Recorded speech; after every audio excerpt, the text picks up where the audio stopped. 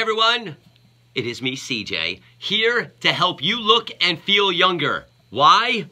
Because you need some face yoga in your life. Oh yeah, it's an actual thing, and I'm gonna demonstrate to you now here on video how you too can take part in the movement that's sweeping the Hudson Valley. It's Face Yoga 2018. We're gonna start off, ladies and gentlemen, with the cheek lifter. And here's what you're gonna do. You're gonna make an O shape with your mouth, so your top lip is folded over your front teeth. So, yeah, huh? And then you're gonna smile with the corners of your mouth. You're gonna smile with the corners of your mouth over and over again. Let me try to demonstrate again.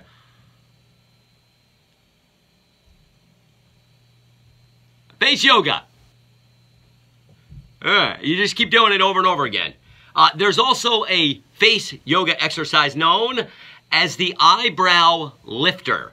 And what you do with that is you take uh, three fingertips, three, one, two, three, and uh, from each of your hands, and then you put them directly under your eyebrows and push up to force your eyes open, and then smile while you're pushing your eyebrows down against your fingers. Hold it for 20 seconds and do it three times.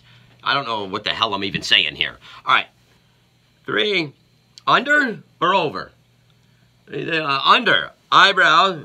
Put it. Uh, smile. There you go. And who's down? For 20 seconds. Face yoga, everybody. This is a lot of fun. Uh, and they do say, as a disclaimer, uh, you don't want to overdo it because it could have the opposite effect and actually cause you to get more wrinkles. Uh, maybe next week a face yoga video number two? Probably not. Happy yoga, everybody. Namaste.